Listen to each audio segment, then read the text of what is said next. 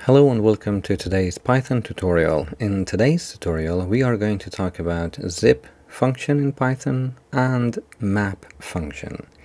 So the zip function is basically what it does is to group several iterables together and returns tuples. Let me show you what it means. So let's say we have two iterables, two lists for example. Let's call them the first one like ages or age and this age is a list of numbers. So like uh, 17 23 45 and then we have also a list of names and this is like John um, Sarah and Jack. So we have these two these two iterables and they are iterables because you can iterate over the items. You can loop through them. So they're called iterables. Now if I want to correspond or group each corresponding in index together and put them all in one list I should use zip function. And for example I want a list where John is grouped with 17 and Sarah with 23 and Jack with 45.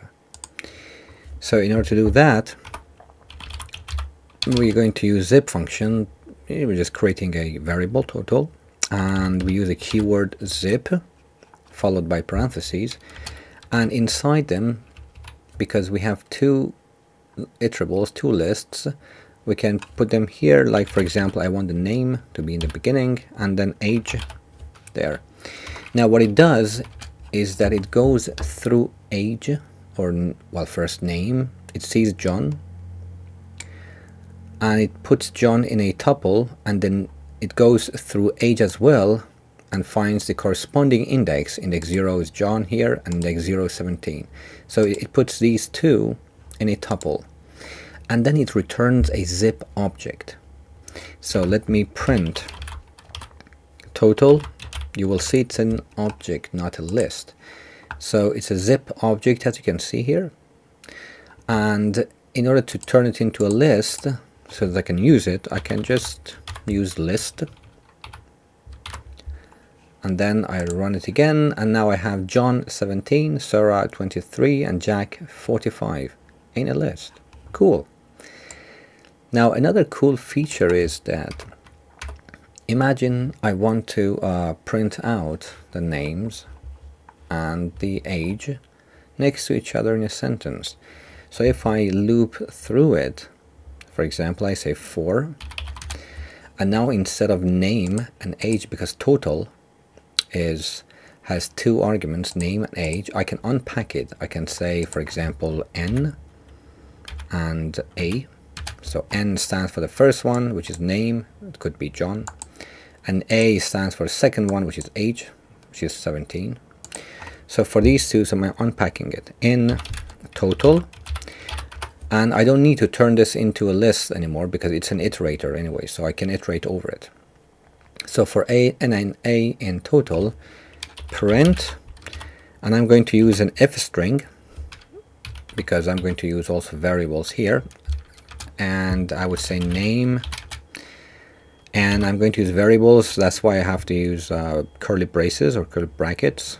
Name is uh, going to be n the same n. And then and age is going to be is going to be what? It's going to be a. We close it here. And now if I run this you can see I have name John and age 17 name Sarah and age 23 name Jack and age 45 so this is very cool if you want to combine um, two iterables like lists, for example, according to the index numbers, if you know that they correspond. But what if one of them has, the length of one of them is, let's say, longer? For example, we have another name here, like Mo. What happens now if I run this? So if I run it, again, I get the same thing, but Mo is not included anymore because it goes as far as it can and then beyond that it can't find any corresponding index for this one so it just leaves it out. Okay that was basically um, yeah what a zip function is. Now let's get down here. A map function so yeah. Now map function map function returns a map object just like a zip object that I just saw here uh, which is an iterator just like zip object again of the results after applying the given function to each item of a given iterable. Okay let's see what that means. Let me get rid of these so what it basically means is that if you want to apply for example if you want to uh, do something to every item in a list or an, in an iterable then you can use map to um, apply a function to each and every single item in a list imagine that I want to turn all these names into uppercase. I can do it with a for loop, of course.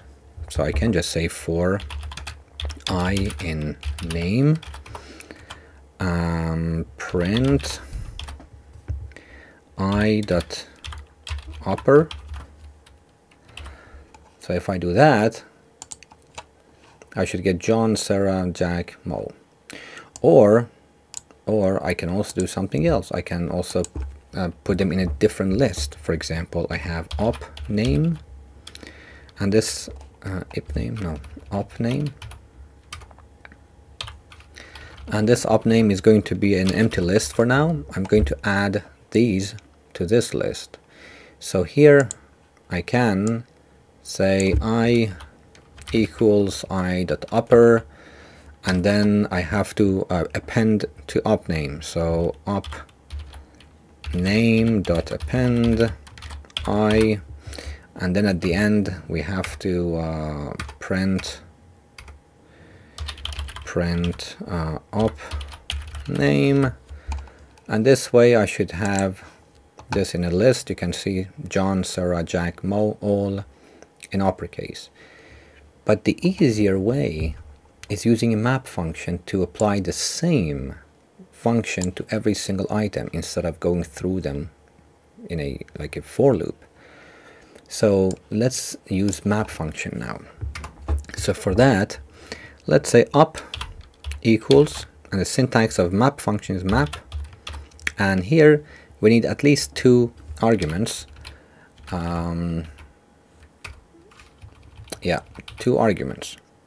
So one here is I want the function to be applied to what? I want it to apply to every uh, single item, every item in name. That is these, right? So I put name here. And what is the function that I want uh, to be applied to these items? Let's say str.upper. I remember I don't use parentheses here because it's already implied. That is the function. Now if I print up, I get a map object. I don't get a list, I get a map object. And you can see a map object at this place in memory. But if I want it to, to be a list, I simply use list. And then I run it again. And now I have this in a list. So you can see it's much shorter than going through a for loop having another empty list, adding to the list, and then printing out the list. So this is much shorter.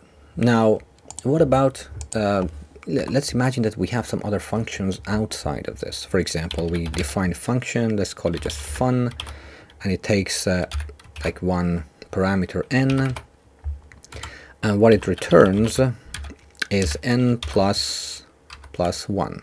That's it. Now I want this function to be applied to these items. Again, instead of this, I can use fun here, the name of the function, without parentheses. So it will take whatever is in name, that is the first 17 would be n, passes it here, and then it returns 18. And then it goes again 23 plus 1 24 now let's uh, run this and what? Um, typer. Oh can all concatenate? Wait oh that's an sorry. Yeah mistake is that I was trying to do it with name not with age. So it's here name instead of name I should use age. Now if I run this you can see 17 has turned into 18 and then 23 has become 24 and 45 has become 46 so this is also another way of um, doing things. Now a third way of doing it is using lambda. So in, because this function is actually a very short function so we can use lambda instead of using an external function, oh, I mean function outside this uh, map. So in order to do that, let's just say lambda, and lambda is going to take one parameter just like n, so let's say n, and what is going to return is n plus 1, right? So let me make it more beautiful. n plus 1. And now we have this now, so we have this lambda, which is basically a one-line uh, anonymous function, so it doesn't have a name, like fun, it doesn't have a name, it's anonymous.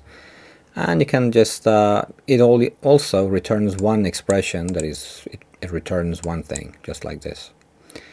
And this is going to be like an argument that we pass. So we're going to get rid of this now. And now if we run it, we should get the same result and indeed we do. Cool. So we got 18 24 and 46 awesome. So that is basically what uh, yeah zip function is and map function is. Thank you for watching and listening. Have a good day and night